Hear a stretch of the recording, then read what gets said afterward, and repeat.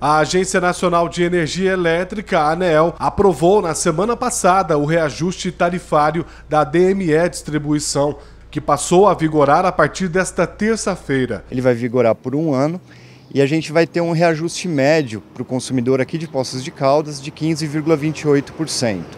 É, para alta tensão, né, os grandes consumidores aqui de Poços eles vão perceber um aumento de 23,51% e a baixa tensão, onde estão os residenciais, os comerciais, é, vão perceber um aumento médio de 10,2%. O residencial especificamente, ele vai ter um aumento de 9,98% nesse nesse ano. O reajuste, segundo a ANEEL, visa assegurar o equilíbrio no serviço prestado, levando em consideração os custos operacionais e os investimentos necessários para toda a cadeia do setor elétrico. Esse ano a gente está tendo um aumento principalmente nos encargos que são adicionados à tarifa. Esses encargos eles subsidiam descontos, a, a, a tarifa é, social, os descontos que a gente tem para o rural, baixa renda, todos esses, esses subsídios que tem na, na, na, tarifa de energia, eles são cobertos grande parte pelos encargos que são incluídos.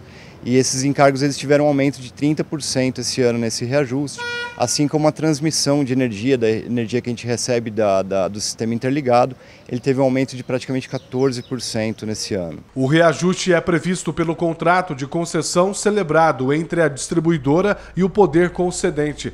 Atualmente, a bandeira da conta de luz é verde e há expectativa de que ela continue por mais algum tempo. A bandeira verde está vigorando eh, nesse mês e tem uma previsão nos próximos meses de ainda continuar na bandeira verde.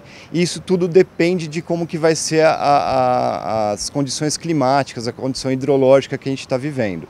Então, enquanto a gente tiver um período com, com uma chuva é, que permita a geração hidrelétrica, a gente continua com bandeira verde. O coordenador de regulação tarifária da ADME dá algumas dicas de economia de energia elétrica. A gente tem que tentar economizar energia sempre que possível, evitar aquela luz que fica é, acesa é, quando não tem ninguém no ambiente, várias televisões ligadas ao mesmo tempo, o ferro de passar roupa ele, ele ligado por muito tempo e também o chuveiro elétrico que tem um consumo é, muito considerável dentro do, do, dos equipamentos que tem, a gente tem dentro de casa.